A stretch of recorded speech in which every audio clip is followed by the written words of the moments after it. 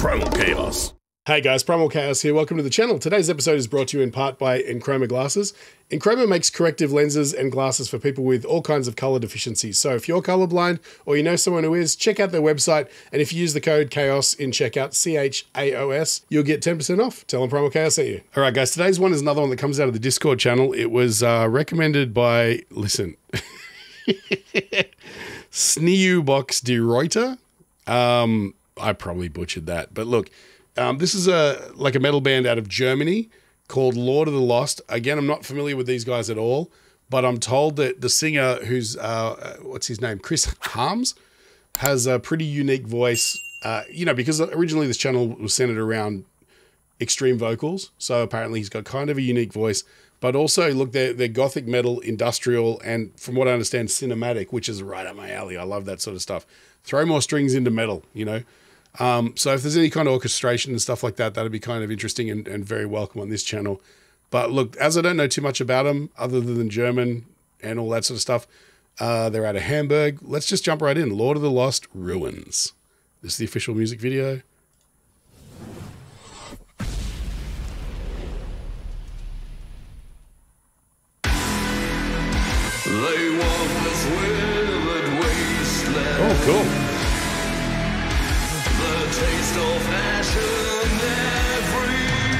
Interesting accents. Wow. There we go. There's the groove. See, that's, I love when bands do this, right? Let's have a listen. There's no real rhythm until that hi hat comes in.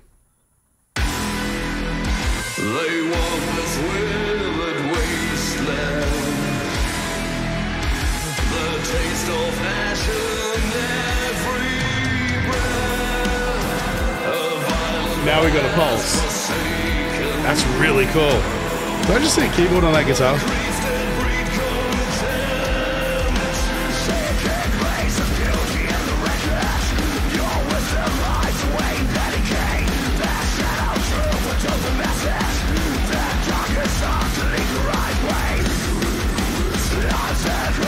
Okay, cool.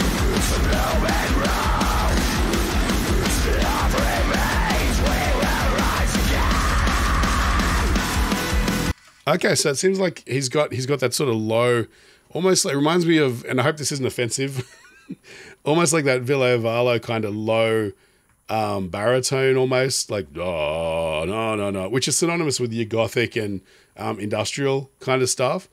Um, but then he's he's also got that Frasco sort of stuff, which is it's cool. I like a good versatile vocalist. And, there's some death growls in there. Some lower ones as well.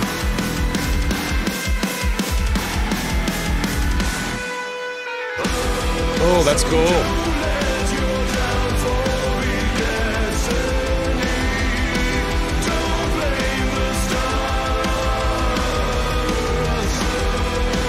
Come on.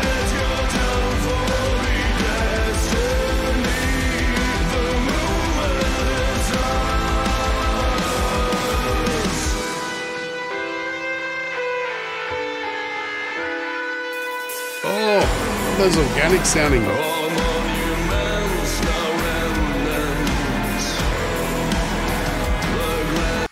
Is that a working?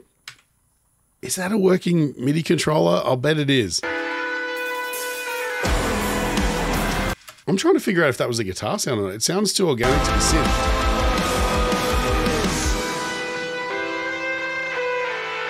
There's obviously a piano. Yeah, you can hear the frets. It's a guitar.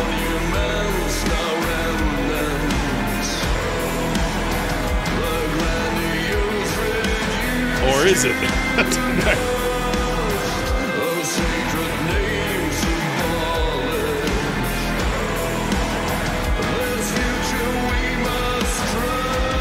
Jump back into a harsh vocal? Yeah,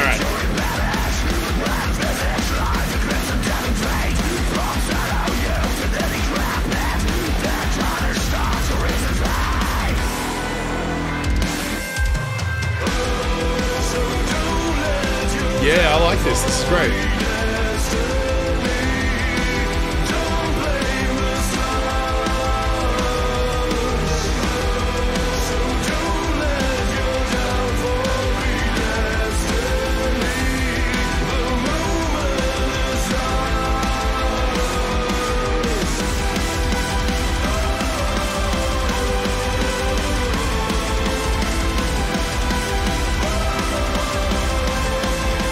That sounds massive, eh?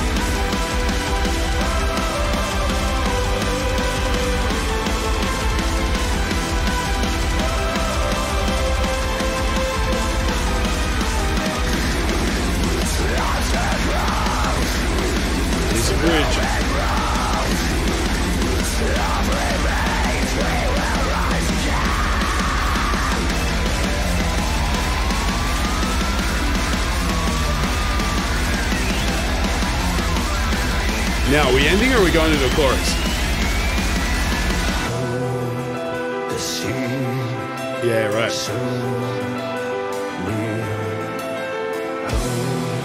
Oh, wow.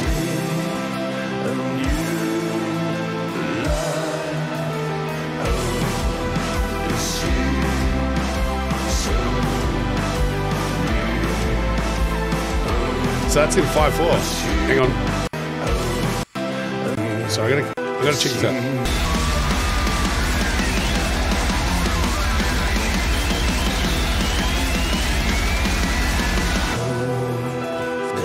one, two, three, four, five, one, two, three, five, one, two. My fingers are out of time. One, two, three, four, five. That's cool because what it does, if it was just in four four or like because five four kind of has this weird waltz to it that's off off kilter.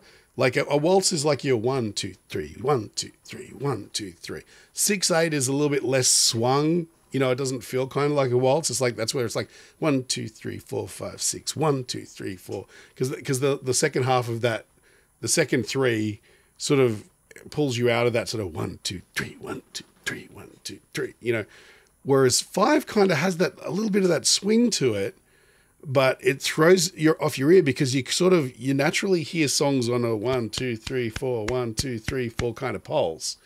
But then when it's one two three four five one two three four five the vocals coming in one beat too late for it to be four four and one beat too early for it to be like a waltz or a six eight if that makes sense. Um, and you can hear that here like you, you what tweaks your ear is the singer comes in a beat after you're expecting it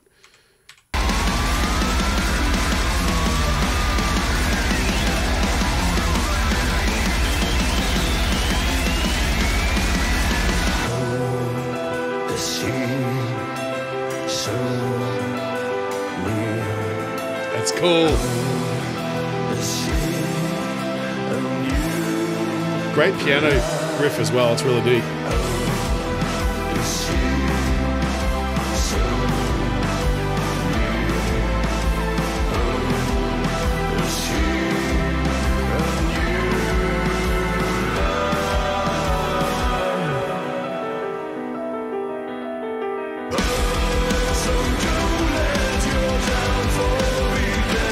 Anthemic chorus. These guys have just they've figured it out, man.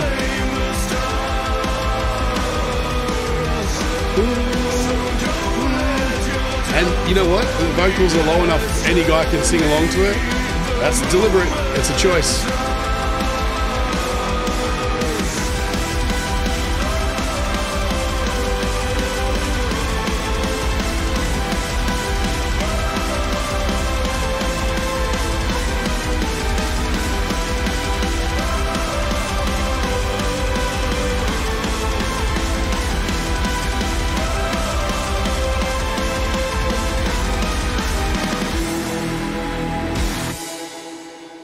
Awesome. That was really cool.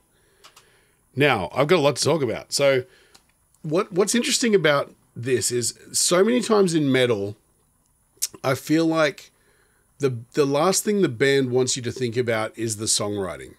They want you to hear their playing and their eclectic choices, and they want that ADHD kind of aesthetic of just never repeating anything. It's always going, you know, from beginning to end. It evolves from A to Z without any kind of callbacks or repetition, or if it is, it's it's very clever and minimal. Um, and the the art that in itself is an art form. I'm not I'm not saying one's better than the other or, or whatever. What I'm getting at is establishing a point of difference between different types of metal and their concepts and the way they lean into songwriting.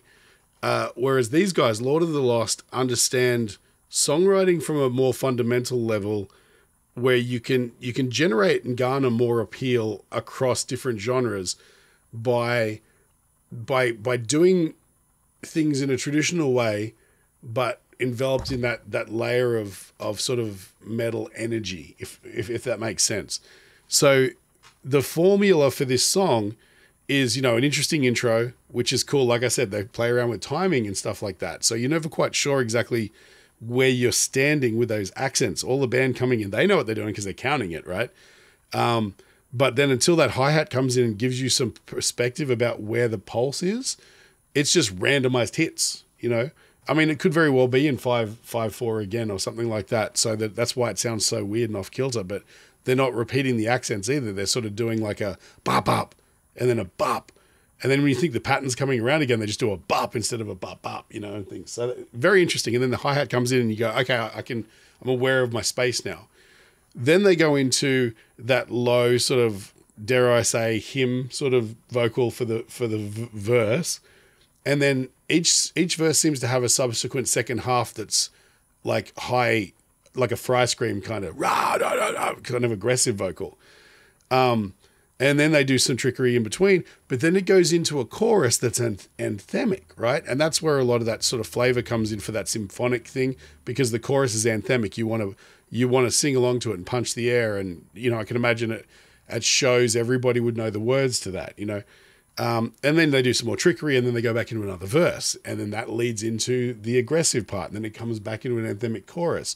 Then they play around with some things. Then you go into the bridge or middle eight or whatever that sort of you know takes you through another interesting journey where again they sort of came out of that with some repetition. And i wasn't sure whether or not they were going to just end it there or if they were going back into another chorus which is typically how it works. Like almost every pop song ever is you know intro verse chorus verse chorus um, sometimes a pre-chorus in between. And then you've got like a bridge and then chorus chorus and that's kind of your outro you know or you add an outro or something these guys have taken that subtle art of pop writing and you know as as the bones of the structure and then they've just created this maelstrom of cool metal over the top with you know all of the embellishments you'd want in a band that you respect in the metal genre. You know like playing around with interesting time signatures um, having aggressive vocals but also having engaging vocals as well.